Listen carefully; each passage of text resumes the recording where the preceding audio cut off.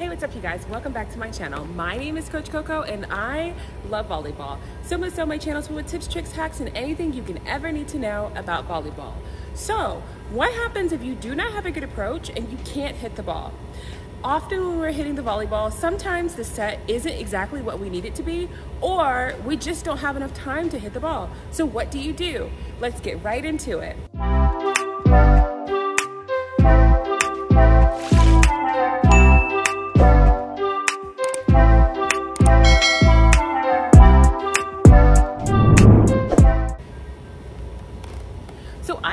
Volleyball for a very long time. I've been a hitter, a middle blocker, and an outside hitter for most of my career. Throughout that time, I've learned a lot of different strategies to be able to not only get the ball over, but also be a little bit more aggressive with some of my attacks. What we want to do is we want to make sure that if we do have a swing, we swing. It is an opportune time to be able to get that spike and get that kill absolutely necessary. So, but what if you don't have the opportunity to hit it the best way you can or give it the best way you can? We're going to talk about some strategies that you can do starting with the outside. So, we know that the outside hitter is one of the strongest hitters on the team.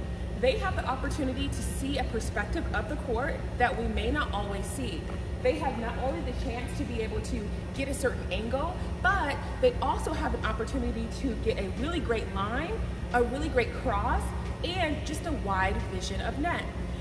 So if you don't have the opportunity to hit the ball, let's talk about some things that you can do.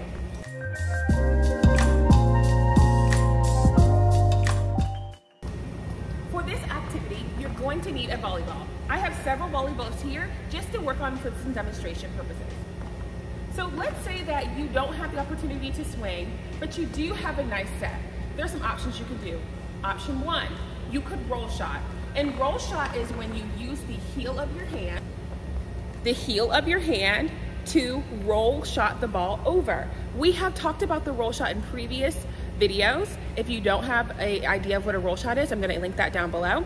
But you're gonna use the heel of your hand to then give the ball over the net and it drops quickly. What makes a difference between a roll shot and a tip is a roll shot has top spin and it drops very quickly and it really is something that can help confuse the hitters but also drop quick enough especially if you have coverage available. The next thing is a tip.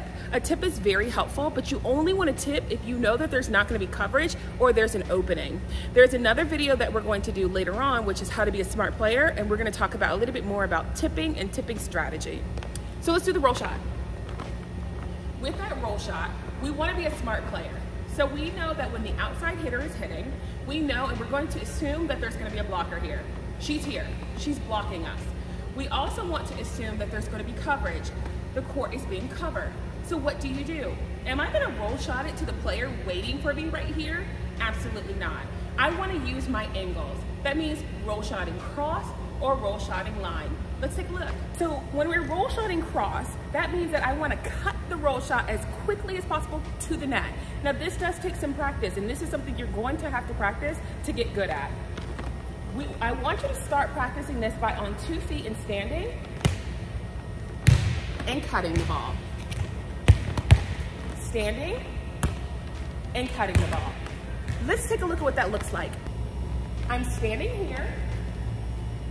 I'm facing the angle that I would approach. And I'm cutting the ball.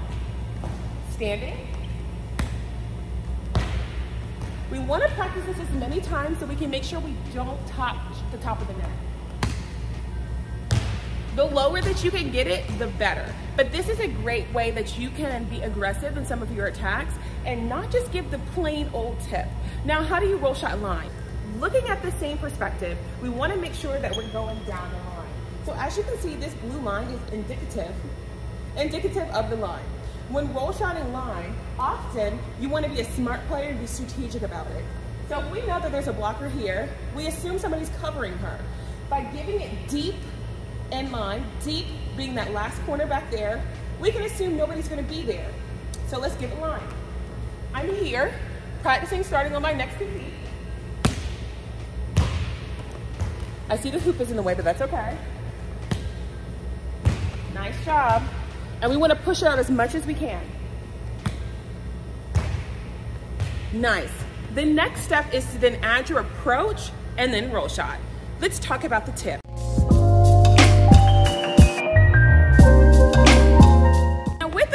You wanna give a little bit more of an aggressive tip. We don't wanna come up to the ball and approach it like, I'm kinda tipped it, I'm gonna tip it. No, we want to come in and fake it as if we're gonna swing. So even if you don't have the swing, you want to go in like you possibly have the swing. That means coming in, doing a full approach, then coming carrying it over. So when you're doing a tip, am I gonna tip it into the blocker's hands? No. Am I gonna tip it over the blocker? Possibly, but we have to assume somebody's covering. Same thing with roll shot, tipping line or tipping angle.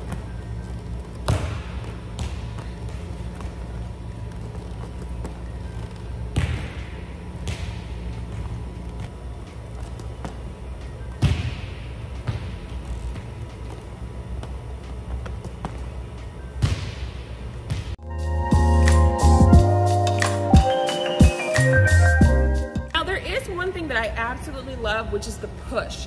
But I want to make sure that you remember that when you are pushing the ball, you have to be square to the net. What does that mean? Your feet must be in the same direction of your hands as you release the ball. Once again, your feet need to be in the same direction as your hands as you release the ball.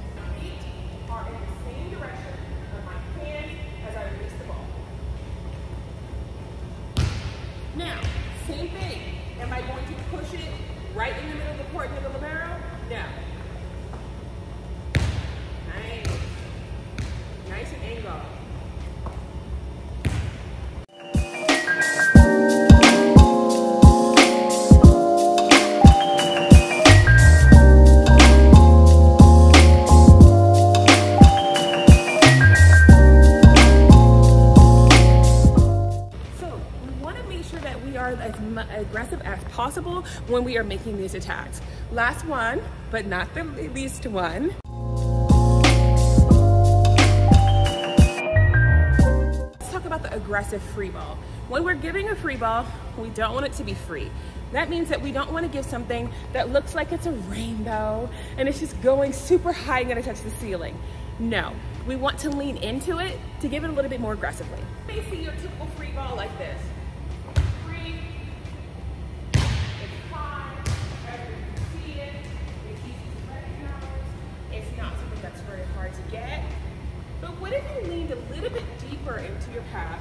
To make it go a little bit more aggressive.